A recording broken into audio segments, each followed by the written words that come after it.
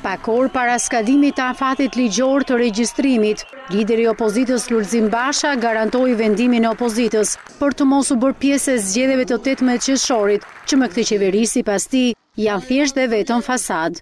Regjistrimi skadon nesër, opozita nuk regjistrohet për zgjedhje fasadë, nuk ka për të pasur zgjedhje diktuara nga krimi, nuk ka për të pasur Socialistët e ndershëm të rrinë rehat se jo vetëm Shqipëria, por dhe Partia Socialiste do të çlirohet një herë e mirë nga zgjedha e krimit që e ka marrë peng! Basha e kishte një mesazh nga çadra edhe për kryetarin e Komisionit Qendror të Zgjedhjeve, Denar Biba, i cili është cituar në media të ketë thënë se ai vetë ka vullnetin për të shtyrë afatin e regjistrimit deri në njëzet e nëntë prill, kur edhe duhet të nisë prodhimi i fletëve të votimit.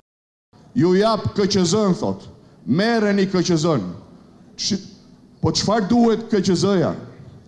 Kur ti ke krimin, kur ti ke drogën, kur ti ke një polici që e ke shndërruar në një repart ushtarak të krimit, drogës dhe rilindjes së kriminalizuar. Ti e di fare mirë. Se një KQZ në këto kushte është kukull, siç është kukull kjo KQZ me këtë kryetar idiot dhe të papërgjegjshëm që u thotë shqiptarëve tani që po vjen data e mos regjistrimit me vullnetin e mirë unë jam gati ta shtyj dhe nëntëdhjetë ditë O Denar Biba, je kryetar i KQZ-së, jo Papa Vatikanit, o idiot! Lideri i opozitës e nisi takimin e kësaj të diele në Çadër me një omazh për ish-kreun e Policisë së Vlorës Artan Cuku. U prehtë në paqen e Zotit. Dhe pas këtij nderimi Lulzim Basha e ka një apel akuzë për kreun e qeverisë dhe ministrin e Brendshëm, që sipas tij nuk kishin reaguar për ngjarjen as dymbëdhjetë orë pas krimit. Dhe me drogë poshtë këmbëve, me drogë para hundës, natyrisht që populli të duket i mjerë. Luftë!